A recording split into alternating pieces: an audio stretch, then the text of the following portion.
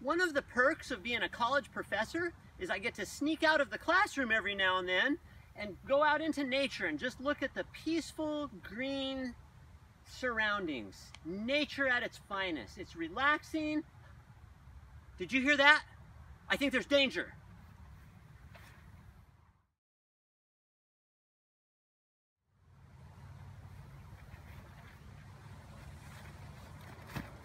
Right there.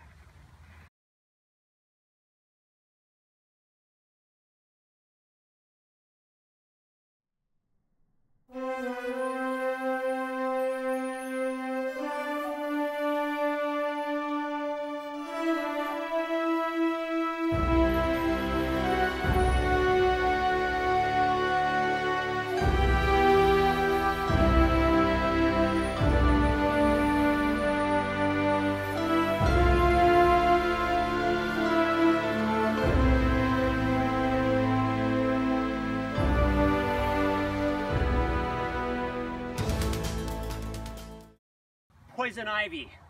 I was right, we're in danger here. So this is poison ivy right here, and poison ivy is in the genus Toxicodendron.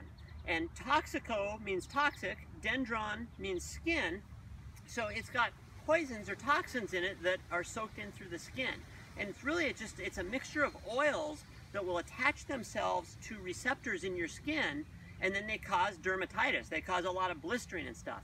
One of the problems with poison ivy is that you don't feel it right away. So you don't even know you've got it until it's had plenty of time to attach itself to your skin, those molecules, uh, and then uh, you'll have it. And you can have it, instead of having it just for like days, you can have it for as long as months, like many months sometimes. So it's a really nasty plant uh, in many ways.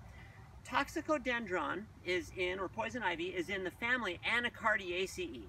And that's a family that's got some things that you might be familiar with as beyond poison ivy. Uh, that's got mango, it's got pistachio, and also cashews are in that family. Okay, and then some of you may know uh, staghorn sumac. That's one I'll probably do a video on sometime. That's also in this family. So not everything in the family is, is poisonous, but several species or several genera are. Okay, so if we take a closer look at this one here, you can see that it's got individual leaves that are made of three distinct leaflets. And so we have a, a, saying, we say leaves of three, let it be. All right, and so here's one leaf and it's got three leaflets on it. And this particular one is climbing up this tree. So this is a viney uh, plant and you'll notice that we've got a single leaf coming out of the stem at each place. So here's the stem, there's one leaf. If we go up a little further, here's another and so forth. And so that tells us that this has alternate leaf arrangement. The leaves are arranged alternately, or in this case spiral, on the stem. And that's one of the characteristics we use to identify a lot of plants is what the, the, the, leaf arrangement is. So again, this one is viney, but these can also be terrestrial or growing on the ground. And we've got some of those down here as well. And you can see again, it's got three leaflets. So there's a single leaf right there comprised of three leaflets. And what you'll notice is that the two lateral leaflets have like a little thumb on them. They're like little mittens. And then the terminal leaflet has a thumb on either side. And that's sort of a typical leaf shape for poison ivy, although there's a lot of variation in leaf shape as well. So, but if you see that shape on some of the plants, you can be, have a pretty good guess that it's going to be poison ivy. So this family produces little white flowers that have five petals to them, to each of them. And so it's a flowering plant, okay, and actually they're, they're kind of pretty when they flower. And it also produces little white berries. And so uh, I use leaf, leaflets three, let it be, berries white, run in fright. Okay, and so if you see these little white berries on these vines growing up a tree, there's a good chance again that it's going to be poison ivy. And I'll just mention all points of all parts of this plant are toxic. So the berries are toxic, the flowers I just described are toxic, the stems, the leaves, the roots, so you really don't want to touch any of it.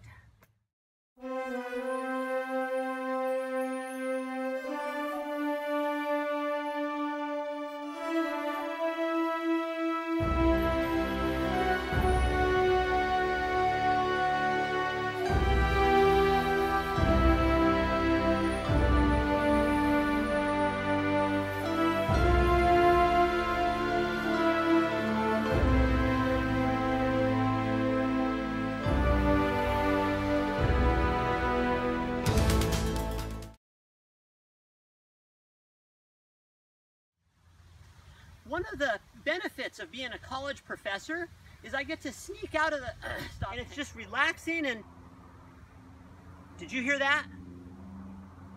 I think Ah. there's danger. Just said it, Dad.